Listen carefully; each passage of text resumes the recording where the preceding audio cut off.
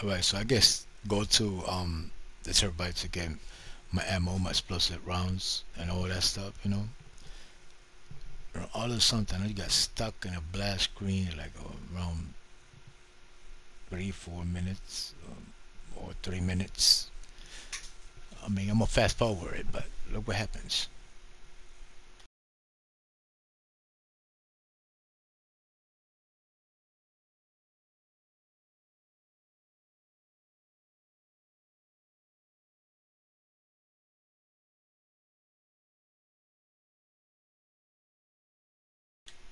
Yeah, I spun right here. Look at this. Going under the map.